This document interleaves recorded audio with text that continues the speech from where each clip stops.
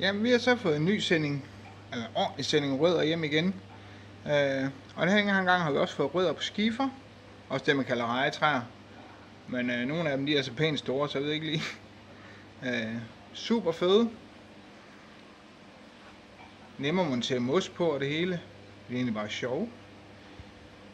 Så er der også masser af, af skabersten herinde jo selvfølgelig. Øh,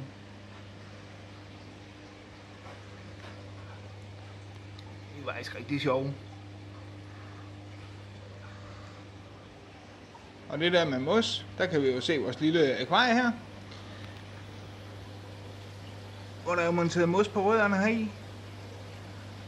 Det ligner jo en million. Sådan er det.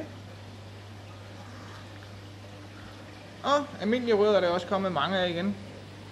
Der er fyldt godt op med Redmorn. Så er der stadigvæk lidt Talava og Savannah Root. Så er der kommet en ordentlig bunke mangrover i forskellige størrelser. Der er nogle rigtig fede af de store imellem.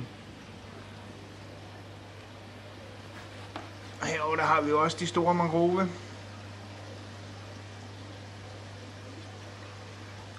Og der er der også blevet fyldt op med morkirnrødderne. Og morkirn, det er jo også dem, der har de der snørke lydseende. Ikke så fancy som Red Morn, men det fede ved dem her, det er, at de er, det er faktisk en blød træsort. Så alle øh, har nemt ved at raspe af dem, øh, og de stopper egentlig med at farve vandet.